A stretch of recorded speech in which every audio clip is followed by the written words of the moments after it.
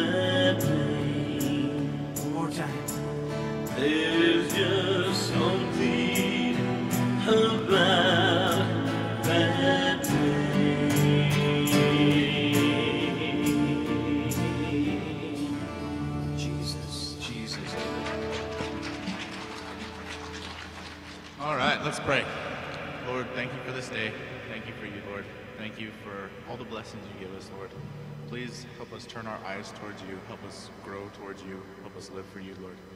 Uh, we thank you for you. Thank you for all you do for us. In your name we pray. Amen. Amen. Amen. All right. Glad you guys are here. We have good news this morning. We don't have to be stupid or selfish in our spiritual lives. That's a good thing. Now, I hope that doesn't insult you. I'm not calling you stupid or selfish. I'm saying we have a tendency of getting a little bit stupid. We have a tendency of getting a little bit selfish but we don't have to be. We don't have to be trapped in that rut. Two quick principles that we're going to see. We're stupid when we don't get into scriptures. And that doesn't mean just read them, that means embrace them. That means wrap our lives around them. All of the scriptures, not just the part that makes sense, not just the part that feels good or that sounds good, or that we can say, oh, yeah, that resonates with me. I'm talking about embracing all of Scripture, even the part that's a little hard to swallow. We're stupid when we don't get in the Scriptures, and we are selfish when we don't get with the saints. We're going to see that in the story that we're about to go through, but it just makes sense. If we're a body, well, we function better together than we do separately. When we're all together, then if one of them, if one of you is a toe and another one is the big foot and the other one is the little pinky foot, you're the big foot. I'm the baby toe because I'm connected to you, but you trump all over me. we work better together than we do apart. We're selfish when we don't get with the other saints because it means that the body can't function as well as it would be if we were all together. So again, we're stupid when we don't get in the scriptures and we're selfish when we don't get with the saints. And I'm telling you that because I know how easy it is for us to fall into that little bit of stupidity. I know how it easy it, how easy it is for us to get a little bit selfish. Stupidity and selfishness just comes easy for us. Easier for some than others, I think. I'm not gonna do it this time. You promise? Yes. Just throw it. Yep. Oh!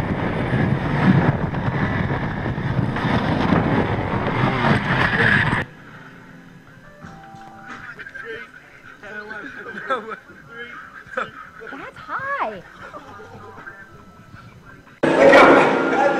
feet.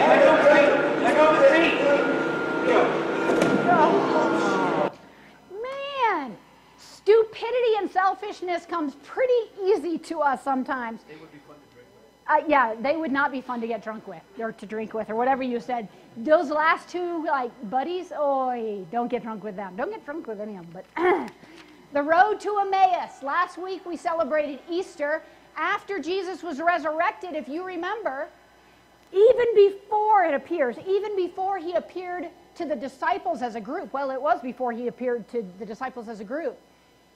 Mary Magdalene, if you remember, with some of the other women, went to the tomb. And what did they find? It was empty. So they ran back. And remember, the angels said, Hey, what are you doing here? We're looking for Jesus. Where, where did someone take him? Why, why are you looking for the living among the dead? He has risen just like he told you. They didn't have to guess. Jesus hadn't hidden it from them. He had told them exactly what he was going to do. But they didn't believe it. They didn't accept all of God's word, just what they understood or just what they wanted to. They went back and they told the disciples. And then the disciples went to the tomb. Remember, John and James or Peter ran to the tomb. And what did they find? The same thing. He was missing. Now, they didn't see Jesus yet, resurrected. They just saw an empty tomb. Well, in the meantime, along, along the same time, there were two, two people walking. We don't know if they were two guys. I usually picture them like two guys, like two disciples. Um, other people say it was more like a husband and a wife. It just says that two of them, two of the disciples, were on their way to Emmaus. Why were they on their way to Emmaus? Why weren't they with the other disciples? Jesus just died. He was crucified. Now there were stories that he rose from the dead just like he said they would. Where would you be? Well, these guys were out of there. Some people think that it was because they were scared for their life. Were Christians treated well in those days? And now that Jesus was gone, boy, the Roman government could just trample all over them.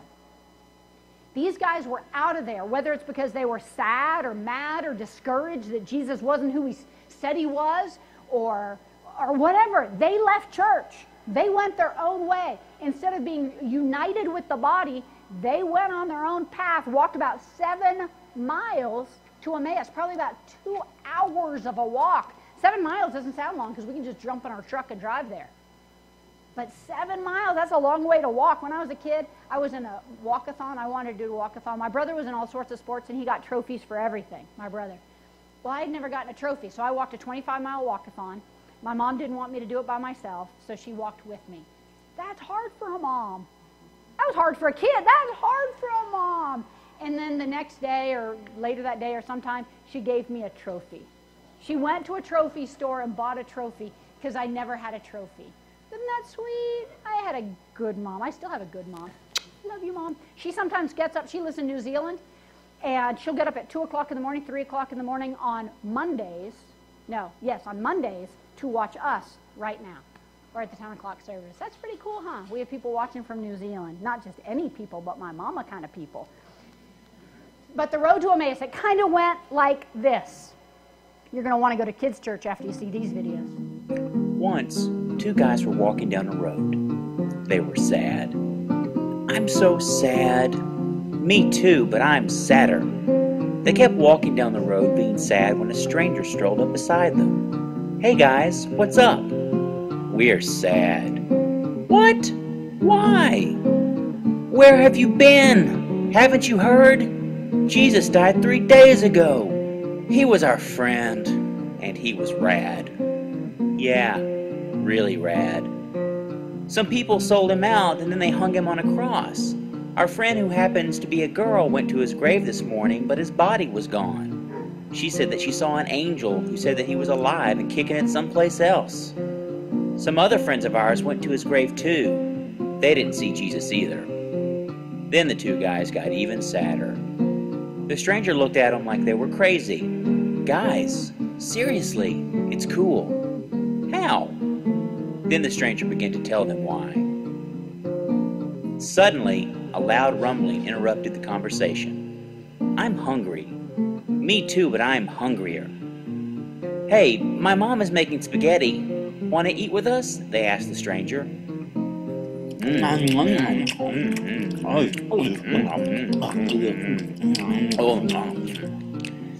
This is really good. Yeah, really good. I love this. Me too. Hey, Jesus, can you pass the bread? Jesus? Okay, it kind of went like that. Sweet. But here's the actual passage in Luke 24. It went a little bit more like this. Luke chapter 24, verses 13 to 34. The walk to Emmaus. That same day, two of Jesus' followers were walking to the village of Emmaus, seven miles from Jerusalem. As they walked along, they were talking about everything that had happened. As they talked and discussed these things, Jesus himself suddenly came and began walking with them, but God kept them from recognizing him. He asked them, What are you discussing so intently as you walk along? They stopped short, sadness written across their faces. Then one of them, Cleopas, replied, You must be the only person in Jerusalem who hasn't heard about all the things that have happened there the last few days. What things? Jesus asked. The things that happened to Jesus, the man from Nazareth, they said. He was a prophet who did powerful miracles.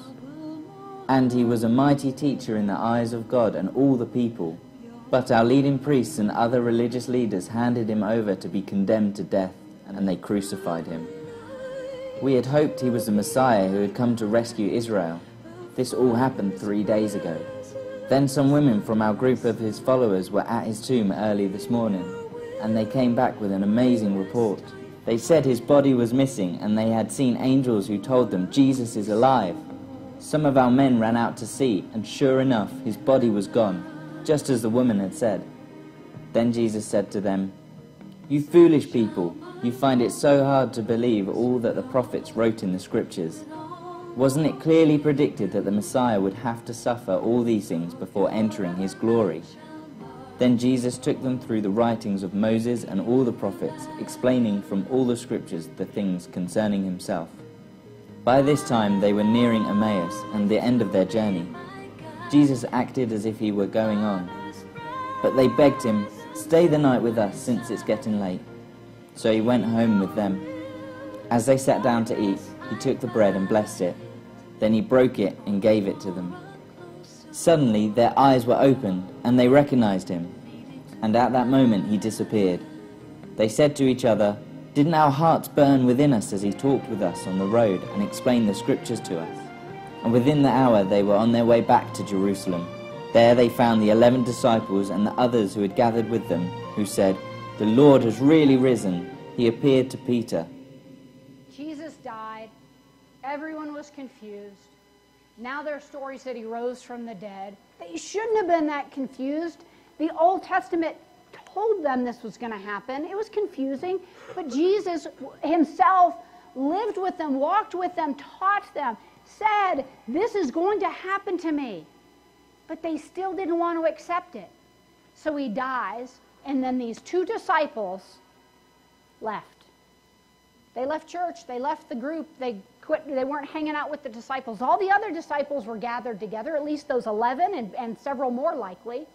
These two weren't part of the 11, but as we'll see in, in the passage, as I'll, I'll point out, they looked like they were a close, close group. They were close. These two were close in the group, even if they weren't the 11.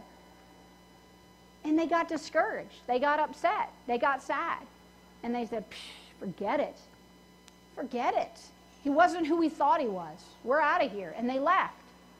And even before appearing to the 11, Jesus, I was going to say, took his time, like time is anything to him, but he just rose from the dead. I'm sure he had a lot of people to see and places to go. To show up to these two disgruntled disciples who decided to go their own way. But he did. He showed up. He said, What's up? They said, Are you kidding me? What's up? Are you the only person in all of Jerusalem that doesn't know what's going on? He said, What's going on? And he let them vent for a while. But after they vented for a while, he didn't put his arm around him and say, Oh, don't worry. Don't worry. Everything's okay. You just misunderstood. He said, What? Fool, how foolish could you be? Well, look, look at the passage. Let's, let's start over in Luke 24, starting in verse 13. Now, that same day, two of them, two of his disciples, were called to a village, or I'm sorry, were going to a village called Emmaus, about seven miles from Jerusalem. They were talking with each other about everything that had happened. As they talked and discussed these things with each other, Jesus himself came up and walked along with them. But they were kept from recognizing him. He asked them, What are you discussing together as you walk along? They stopped. They just stood still, their faces downcast. One of them, named Cleopas, asked him, Are you the only one visiting Jerusalem who doesn't know the things that have happened here in these days? What things? Jesus asked. About Jesus of Nazareth, they replied. He was a prophet, past tense, powerful in word and deed before God and all the people. The chief priests and our rulers handed him over to be sentenced to death, and they crucified him. But we had hoped, past tense, we had hoped that he was the one who was going to redeem Israel. And what is more, is the third day since all of this took place. In addition, some of our women amazed us. Again, they see themselves as part of this group. They didn't see, oh, some of the women who were close to Jesus. We weren't, the, we weren't that close, but some of the women who were close, he said, our women amazed us. They went to the tomb early this morning. They didn't find his body, but they came and told us, the close disciples, that they had a seen a vision of angels who said he was alive.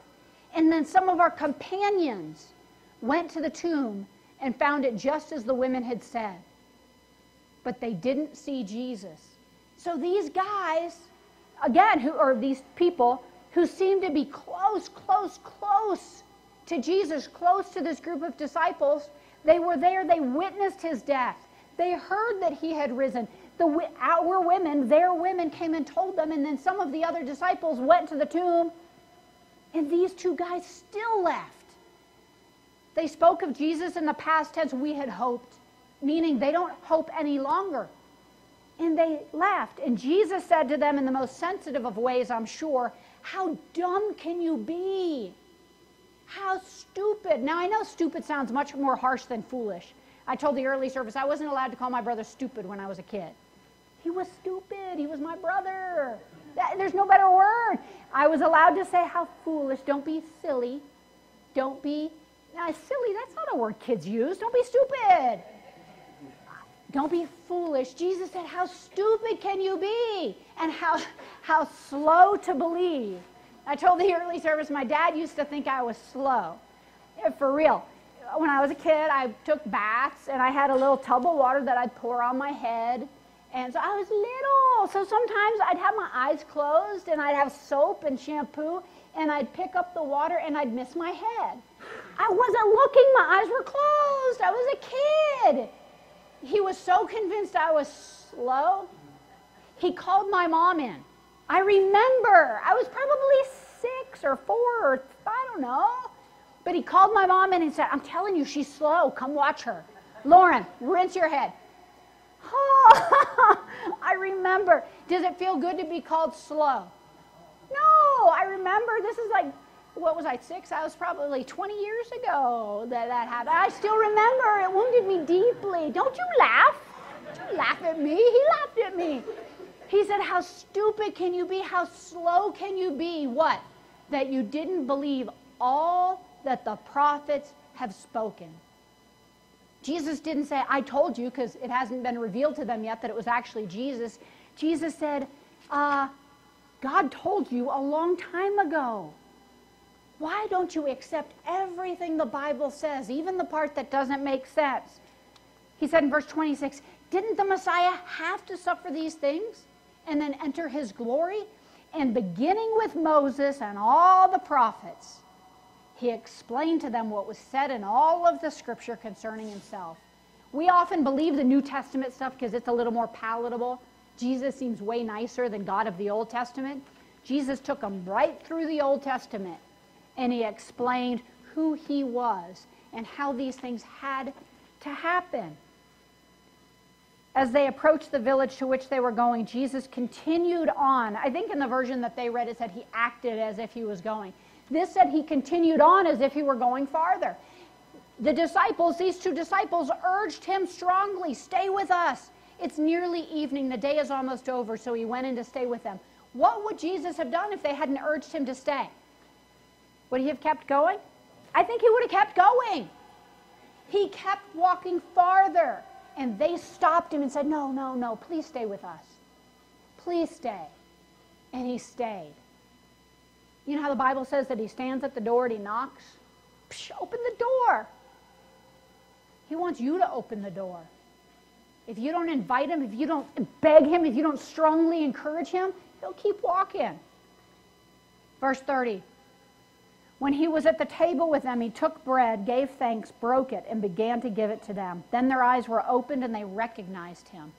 And he disappeared from their sight. Some people say that they recognized him just because he broke bread and they had seen that so many times before and gave thanks to God the Father. Some people think that when he broke bread and handed it to them, they could see the holes in his wrists.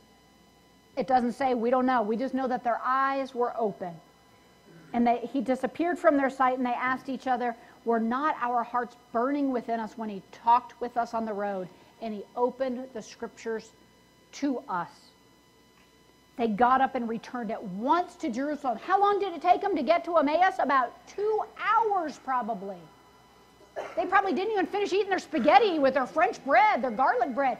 They left immediately and went back to church, went back to the disciples, went back to the saints, and gathered together with them, just like they should have been in the first place, likely. They got up at once and returned to Jerusalem. And there they found the eleven who were still together, and those with them, assembled all together, and saying, It is true, the Lord has risen and has appeared to Simon. And then the two told what had happened on the way and how Jesus was recognized by them when he broke the bread. So Jesus had appeared at least to Simon. Looks like he had probably appeared to the women in this point, putting together all the different gospels, and had appeared to these two. He hadn't yet appeared to the rest of the 11. But while they were all together, while they were all in church where they should have been, while they were still talking about this, Jesus himself stood among them and said to them, Peace be with you. Now, I told the early service if Tony died, and I'm teaching next week with tears in my eyes, and then he walked in the door, what would I do? Would I be all excited? I'd be freaked out. If he dies, he really dies. We have the service. We have him, you know, all taken care of. He dies. And then he walks in next week. I'm not going to go, oh, baby. I'm going to go, what the heck? It's a ghost. What am I going to think? Well, that's exactly what they thought. They were startled and frightened, means they were freaked out, thinking they saw a ghost. He said to them, Why are you so troubled and why do doubts rise in your minds? Because he had told them, Look at my hands and my feet, it is I myself. He said to them, This is what I told you while I was still with you. Everything must be fulfilled that is written about me in the law of Moses, the prophets, and the Psalms. Jesus said it's stupid to not get in the scriptures. It's stupid, foolish, whatever. It's stupid to not believe everything he's told us the parts that make sense and the parts that don't make sense. I know that it's easy for us to say, well, yeah, that part I believe, but this part, like, like our brains are bigger than God's, like we're smarter than God is. Well, that part doesn't make any sense. You know, no, that would be mean. We need to treat people with love regardless of who they're sleeping with or regardless of what they're doing. And no, but, but I do believe this. Jesus said to love each other.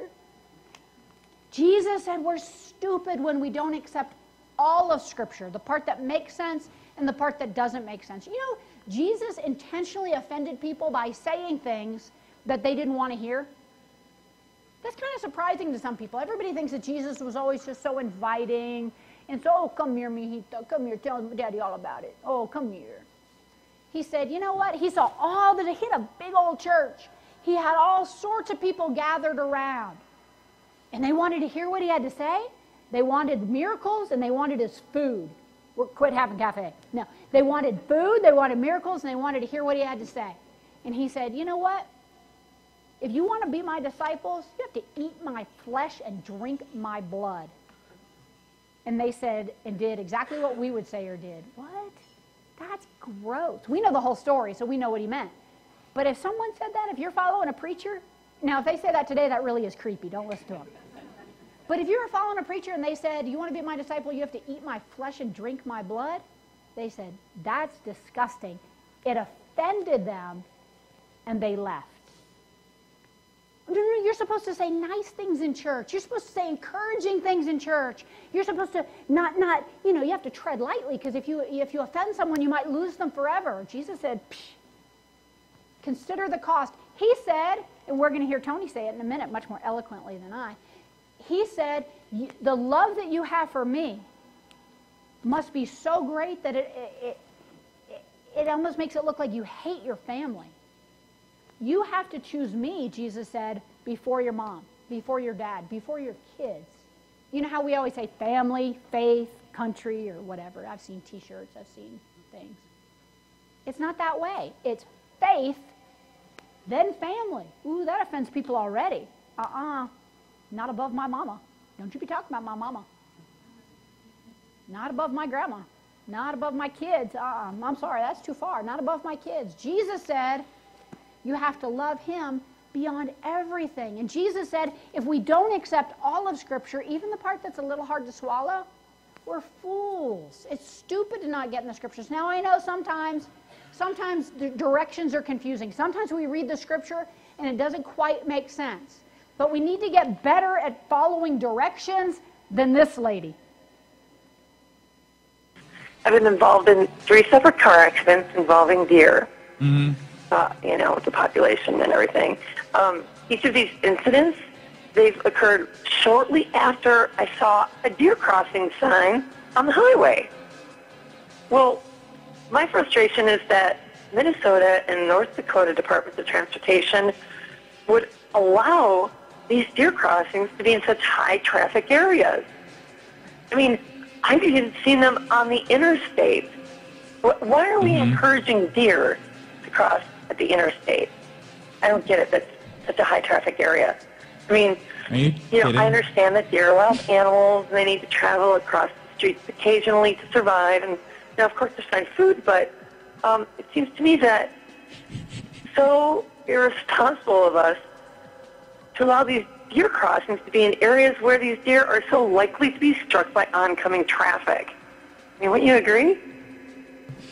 Um, I mean, it's it's just, I mean, you think they would put deer crossings maybe, you know, in, you know, smaller towns, maybe during a, like at a, at a school crossing. That's would it would be a safer place for them to, to cross. Wait, You know, put the deer crossing sign.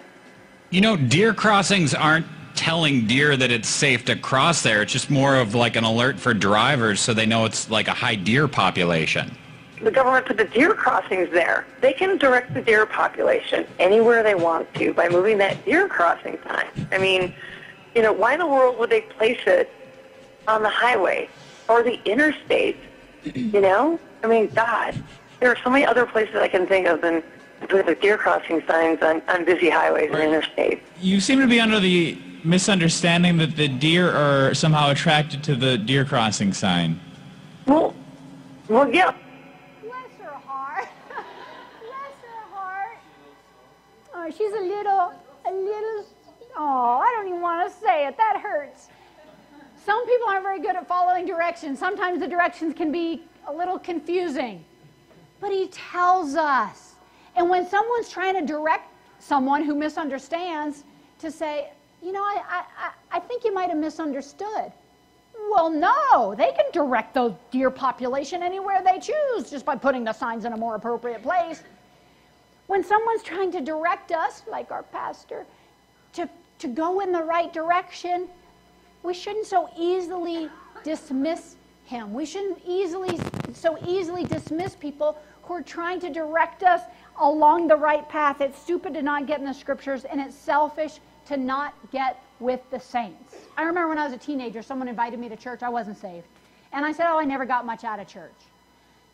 Well, that was the wrong perspective. I was a kid and I wasn't saved. But a lot of us still have that perspective. If something better's going on, if we don't want to miss a game, or if we have family in town, or there's a special at IHOP, or we want to, this is the only weekend we have off to go to the lake, we feel like, eh, we'll go to church next week. Church, and, and and you'll hear Tony say it because, again, he says it much better than I do. It's not a matter of missing every now and then. Everybody misses every now and then. I mean, some people actually have a good excuse to miss every now and then. Where was Adam the last week and a half? He almost died. At first, they thought he had the pneumonia and the flu, and hey, he's young, he's going to get over it, whatever. Don't, don't cough on me, and we'll be all right. He had hantavirus, Tony said, you know. But they found he had heart failure. No kidding, like for real heart failure. His heart was pumping out about 20%. That's bad. I mean, as a doctor, I almost like said last rites over him or something because that was bad. Sometimes people have a good reason to miss, but if you're not in the hospital, I'll put you there, boy. I'll put you there. We, we, grew, we get together to encourage one another. Those two disciples that left the other, I don't know why they left, but ultimately they probably ended up where they should have been in the first place with the other group of disciples trying to encourage them. They were going through a hard time, and when we go through a hard time, sometimes it's easier just to sleep in. Sometimes it's easier to split. Sometimes it's easier not to be around of a lot of other people. I understand. I don't want to be around you any more than you want to be around me. I don't. But God tells us. I was only kidding, guys. God tells us to. God tells us as you see the day approaching, don't quit going to church. Don't quit meeting together because it encourages the other guy. That's why we go to church. We are a body. And if half of if, if we had leprosy and half of our limbs started falling off, if, if we cut our arm off, do you think we're going to work better without a limb or with it? I don't know. Eddie does pretty well. Eddie's always said, you know, I do better with one good arm than two than someone does with two. He does. He gets. Dad always says he gets more done on accident than most people do on purpose. Go, boy. But as a body, we work better when we're all working together, right? If the head is going one way, well, the rest of the body ought to follow, or we're going to have a hard time. We're going to look like a bad twister game. You know? We get together to encourage one another. We're a body and we ought to act like it.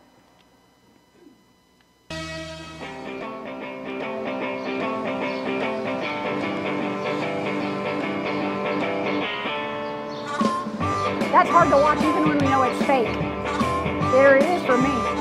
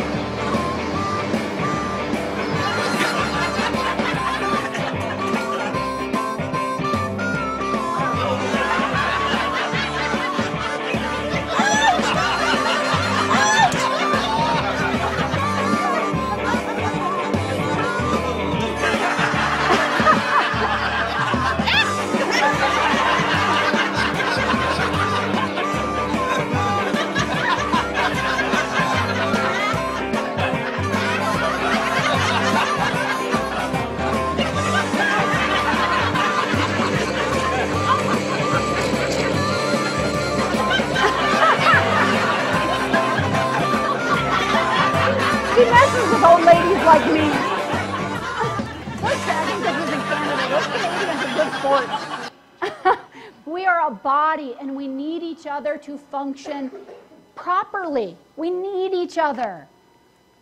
It's hard for your pastor. It's, I know he's my husband. I'm supposed to say good things about him, but he loves you guys. He sacrifices. You know how much he gets paid? For real. You know how much he gets paid? Nothing. Why does he do this? Why does he put himself, and not only does he not get paid, he, pays, he spends a lot of money keeping this place going. Why? For his own self esteem so he can build up a great kingdom? Because mm, he loves God and he loves you. He understands that we as a church exist to do two things. You've never heard this before to bring people to Christ and to help them become more like Christ. As a church, how are we doing for real? How many people would you guess we've seen get saved this last year? For real. How many people would you guess? How many people have you seen? This is going to make us sound awful, but this is us. It's not his job, it's our job. We're a family. How many people have we seen, have you seen get baptized this past year? That's just that's just a first step in obedience. You get saved, you get soaked, and you get serious, right? How many people have we seen get saved as a church? How many people have we seen get baptized this last year? How we doing, church? How do you think? And, and really, we ought to be concerned with how it makes God feel. How does it make your pastor feel? Not, I, I, think all of you guys were here on Wednesday night to encourage the saints and to uh, get into the scriptures and to encourage your pastor. I think all of you were here on Wednesday night, but just as a good reminder, we're gonna we're gonna let Tony talk. This was I'm gonna show a video of his Wednesday night service, just 10 minutes of it, 11 minutes of it, so you can get your popcorn, put your feet up, get comfy, and let's basically he was going through a list of 15 uh, uh, a church growth expert wrote an article about 15 things 15 reasons why committed Christians quit going to church. So, of course, Tony was turned off by the title immediately because he thinks if they're committed Christians, they're going to be in church, they're going to be with the saints. Pastors didn't make up church, Jesus made up church. Jesus went to church, he went to synagogue when he was on this earth. God made church. Pastors just try to encourage us to follow him in church, to follow Scripture in church. A church growth expert was writing 15 reasons why committed Christians quit going to church and basically trying to teach pastors hey, lighten up. Hey, be nicer. Hey, be more relevant. Hey, tell people what they need to help them in their life, like how to have a good kid and how to, how to have a, get a good job. Um, and that's the direction a lot of churches are going into, and, and they're bigger than ours.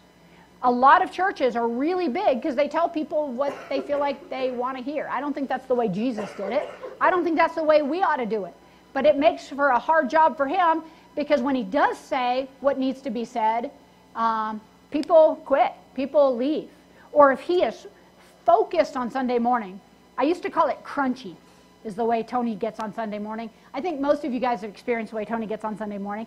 He's focused because, bless his heart, most churches have staffs, literally paid staff, uh, who do music, who do programs, who do cafe, who do everything. Most people don't have the pastor printing up name tags. Most people don't have the pastor up here playing music and trying to get the band together. And most people have staffs. On Sunday morning, it's hard because he has to make sure every single part works together. And that's hard when half the body is missing to try to get the body functioning as it should. Anyway, here's a, here are those 15 things. This is uh, Wednesday night. 15 Tony reasons talking. why committed Christians don't attend church. Their faith is strong, but they feel the church is not meeting their needs. Okay? These individuals may have been members at, at their church for a long time. They've grown up in the church, reached a different phase of their life. Perhaps the church focused more to young families now, or maybe it's geared more to the older people who have the financial resources, so the, the preachers just kind of you know, cater to that group. And for them, the church doesn't meet their needs, so they decide not to attend. And then he tells us what to do. Well, you know, my response, shoot them. But he says, no. He says, ensure that you consistently survey your congregation, whether you do it formally or informally, to understand the makeup of your church. What are your demographics? Who are you reaching out to? Oh, see, I can't even read the. I've got a little throw up in my mouth right there. Two, maybe these committed Christians aren't coming because they're tired of the routine each Sunday. Well, I, I'm tired of the routine. You? Let's change it. Next Sunday I won't come and you show up. While many churches do offer a variety of service times, you know of the of the of the 50 adults who said they would be here all the time? You know that go big, I'm here, you're here? Puke. They already forgot. Or they lied, for reals. Those who said we're going to step up, we'll be there, we'll be there early, we'll stay there late, forget it.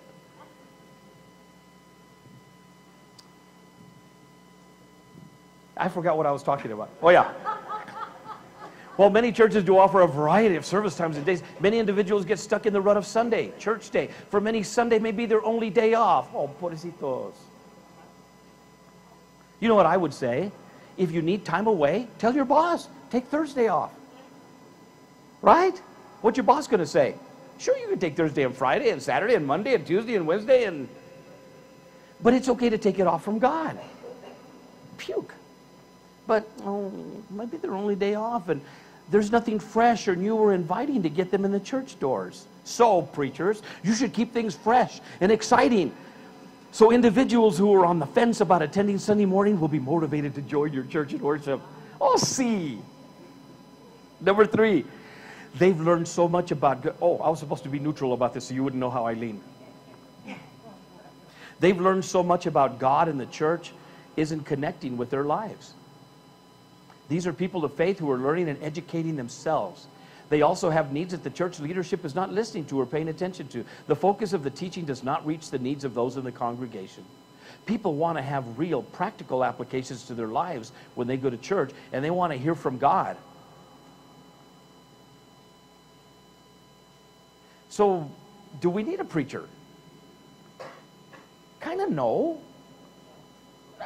If people are educating themselves and they know more than the preacher knows, and, and, and they don't need to be in church, I mean, is there anything magic about church?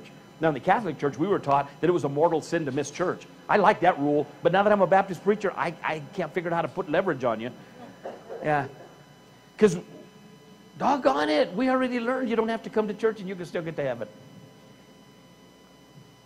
I'm not talking about missing once in a while. I'm talking about an attitude. I'm talking about an attitude of prioritization. We are so good at segmenting our life, at compartmentalizing our life. My God box is stinking full. I couldn't cram any more in my God section. But I got this with the kids, and I've got that with the boss, and I've got that. This is the only time I have, and then I like to do this, and I have to do that. We compartmentalize our life and we have a little God box. Maybe you've got a big old God box, and it's as crammed full as you think it needs to be. Totally missing the point. The worshipers, they totally miss the point. These guys, they totally miss the point. Jesus went so far as to say, if you love your father or your mother more than you love me, you're not fit to be my disciple. If you're forced to make a decision between your folks, what your folks want, what your folks think is best, your family, your brothers, your mom, dad, whoever, grandma, grandpa, if you're forced to make a decision between serving God and making them happy, what does he say? Follow God. You're not worthy to be my disciple. If you're making your changes in church to make them happy at home. Most of us in a million years would never say that makes sense. Say, no, family first, man. We're not talking about God, you're just talking about church. Well, puke on you too. For whatever reason, I know that was mean, huh? I, I couldn't say what I was really thinking. For whatever reason, God made church a part of your spiritual growth. Now, most of the guys who need to hear this you would think I'm about to say aren't here right now. No, they're here. It's you. Because they've already made up their minds. We don't have to. And you don't. The kicker is you don't. And so this is a kind of a, a the, the phrase is not self-fulfilling prophecy, but you know, we just kind of get to the place where God didn't kill me for missing, so it's not a big deal. And you've missed the point. You, you have. You've just missed the point. And I, I, I, I can't say I don't care. Because my neck's in the noose for you. And every time I try to quit, you say, Oh, no, no, don't quit, don't quit, no. We'll worship, we'll come, we'll help. Puke. So why do I come? I don't know anymore. But for some reason, I'm stuck and you're not. The church has changed and doesn't hold the same initial appeal as it once did. Oh, puke. Number five, they have problems with how churches are run. Double puke. Six, they have problems with how people are handled or not handled. Triple puke. Seven, heavy handed pastors. Need I say more? Heavy handed pastors or teachers shame people into behaving a goodly way, godly way. You quit listening to me a long time ago. Eight, they dislike the conflicts within the church. What conflicts? People don't like it, they leave. Number nine, and I still don't know why people leave. They don't respond, they don't return my calls. Lauren and I do have a reputation. When people get mad, they get mad. They don't return our calls, they don't text, they don't tell people why they left. They just leave a la modi.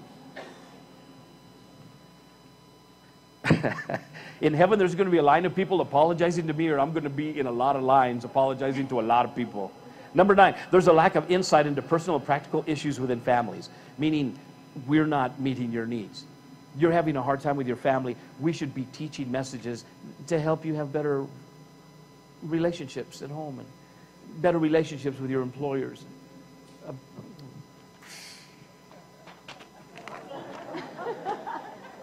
Okay.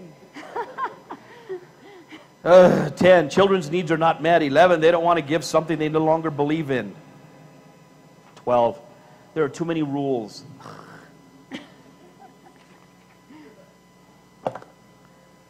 There are too many people. That's the only one that we're okay on. There are no good churches nearby. I am constantly worn down by people who come to visit me during the week. Not you guys. People who come to visit me during the week that don't attend here. They live in the neighborhood, but they go miles and miles away to some other church. But they think that I don't have anything better to do but just let them come and bend my ear. Out of here. I'm not here to converse with you. I'm not here to be your buddy. I'm not. I said, I'm so mean, huh? And I'm, I'm not going in the right direction either. I'm getting worse. And, and they just show up just to talk, just to talk. About what? Go talk to your pastor. Oh, I can't. He's too busy. I can't. He's, he's got, and then they describe an entourage, or they describe the bodyguards, or they describe all the secretaries and associates and assistants. You can't get to the pastor. I used to be nice and not ask, why the monkey are you coming to bug me? But now I do. And now I say, I don't, hey, if you're not going to come to church, go talk to your own pastor. How come you're not nice? Because I'm not nice. Because of people like you, that's why. 15, great first impression, huh? Number 15, this is my favorite. I, I didn't put this together. This is, uh, I forget his name, Tom Rainier, I think. They need to have downtime because of work or family stress. They're just too busy. Yeah, whatever. Next time I quit, let me go. For reals. Yes. Or come and bring people and work. Come early and stay late. Don't come in and punch your clock and do your thing. I want volunteers. I want people who serve God. Or I'll start paying you a salary so I can fire you.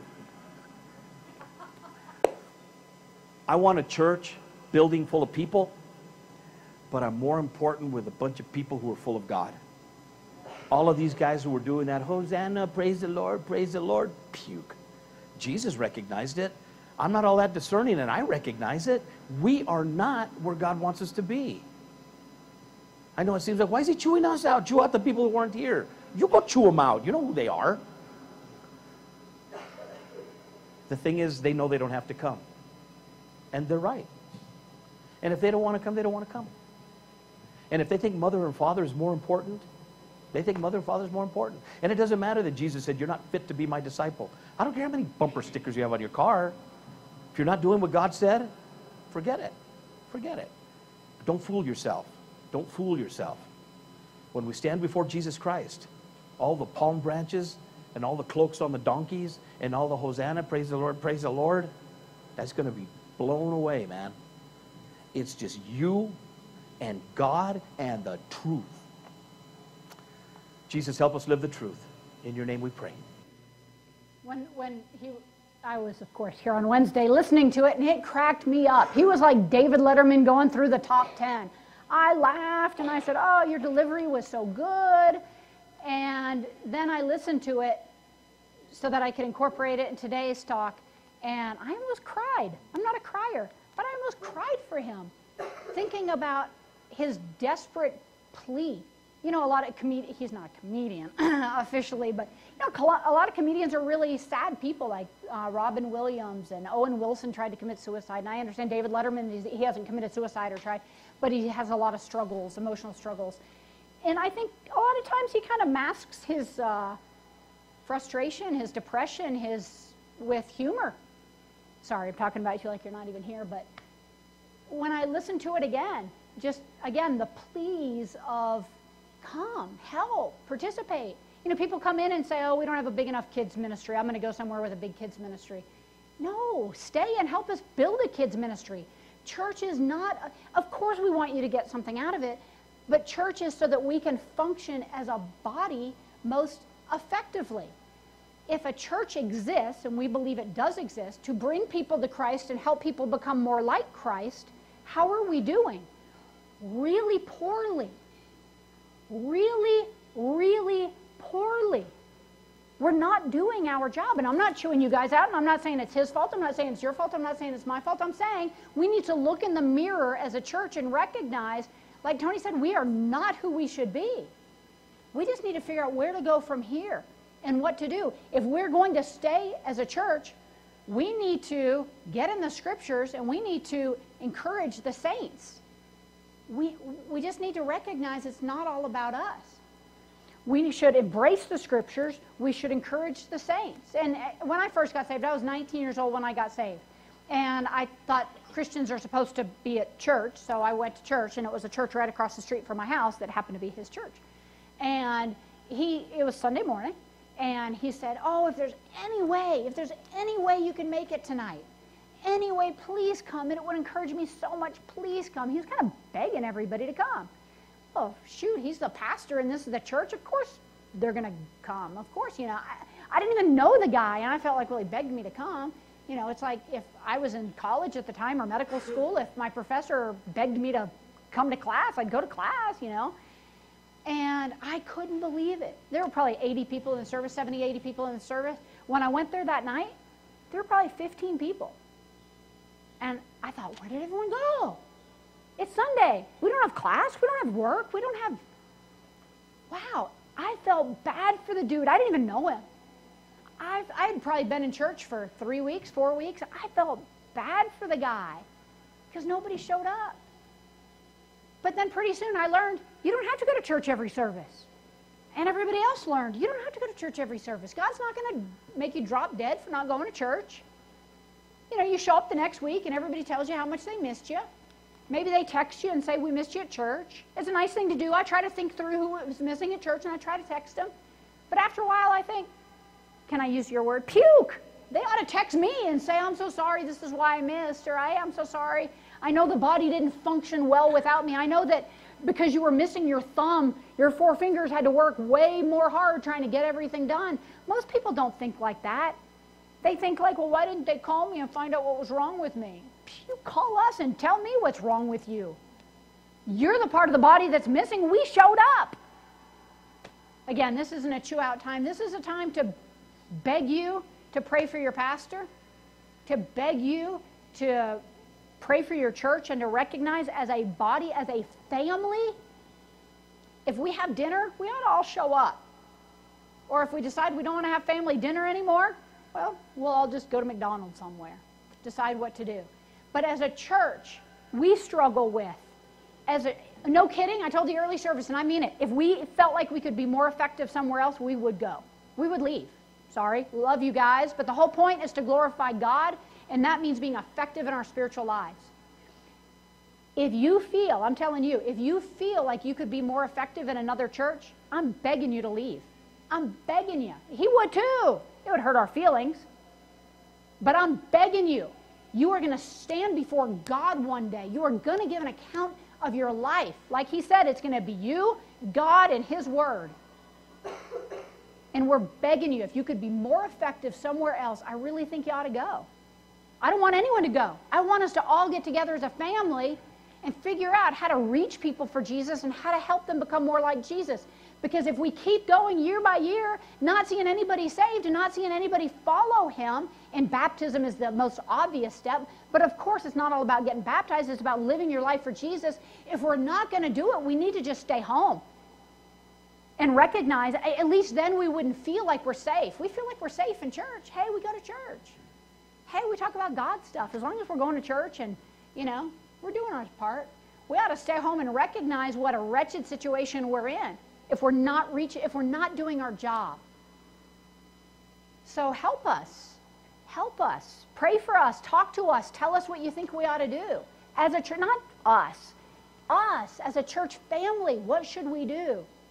Because we're not doing our job, and I don't know what the problem is, but there's a problem. We're not, as Tony said on the at, in his talk, we're not who we should be. We're just not sure where to go from here. We're not sure what to do.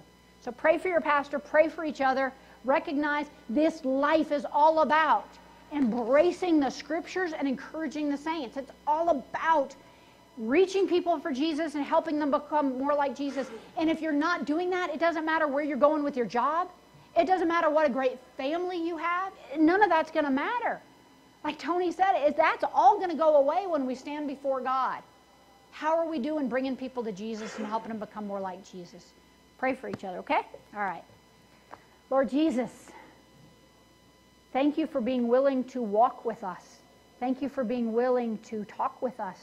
Thank you for being willing to encourage us by giving us a good kick in the pants to figure out what we're supposed to do with this life you've given us. God, thank you that every single day we get to choose whether we're going to serve you or whether we're just going to waste another day living our life. God, help us as a church help us. Please open our eyes. Help us see what we need to see.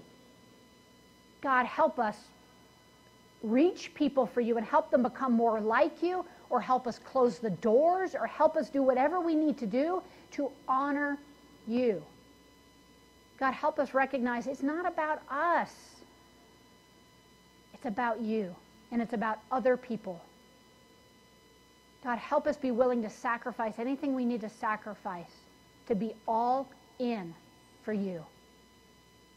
Thank you for our pastor. Thank you for the people who are here. Thank you for their encouragement. Thank you for their service. God, help us see more. We love you. It's in Jesus' name we pray. Amen man.